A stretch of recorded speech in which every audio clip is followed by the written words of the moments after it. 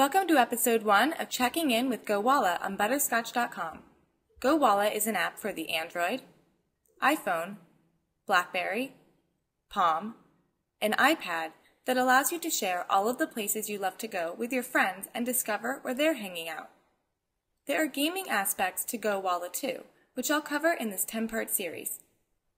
But first, you'll need to create an account and, of course, download the app on whichever smartphone you use. If you don't have a smartphone, then you can use a website. Then go through the steps to add friends from your email address book, Facebook, and Twitter. After you've added some friends, you can add a photo to your passport, which is what your Gowalla friends will see. You can also add an About Me section,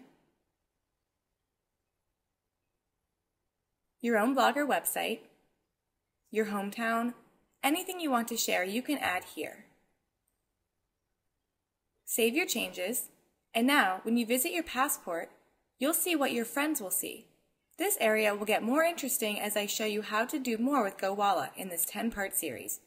Thanks for watching, and don't miss the next episode in Checking In with Gowalla on Butterscotch.com.